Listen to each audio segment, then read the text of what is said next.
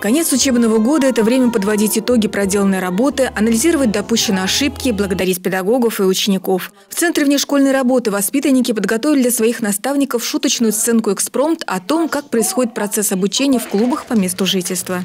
Педагоги тоже не остались в долгу и высказали теплые слова благодарности своим ученикам. Мы радуемся, что вы такие у нас хорошие приходите к нам каждый день, радуете нас своим появлением, лучезарные, цветущие, иногда немножечко плачущие. Вам нужно вытереть нос, вам нужно, так сказать, вытереть слезки, а кого-то надо поддержать. А кто-то такой интересный расскажет, что самим жить хочется.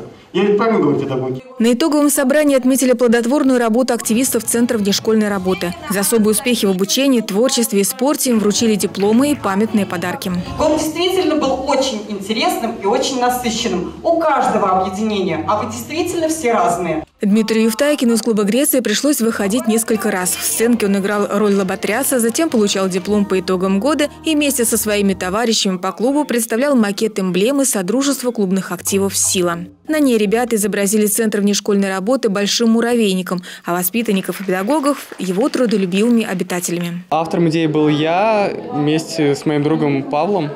Мы собрались на тренировке и обсуждали эмблему. Кого возьмем за основу. Всего было представлено шесть макетов эмблемы. Активисты клубов, презентуя свои проекты, подробно рассказывали о символах, которые взяли за основу. Выбирать лучшую эмблему будут голосования в сети интернет. И уже к новому учебному году Содружество обретет свой отличительный знак. Елена Грицкова, Артемий Глазков, Владимир Лисик, Служба новостей Саров 24.